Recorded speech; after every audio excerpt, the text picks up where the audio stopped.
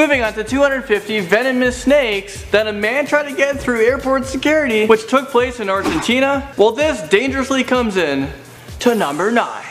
So the man was identified as 51 year old Karel. He's a Czech citizen en route to Spain when an airport officials made him open up his baggage at Buenos Aires International Airport. After police spotted the reptiles in the airport x-ray scanner, they found all these endangered species that were packed inside plastic containers, bags, and even socks. Authorities believe that this man was a courier for a criminal organization that smuggles in exotic species. Karel was sent off to jail, but he was released on a $2,500 bail. There was a court date that put him away for 10 years in prison.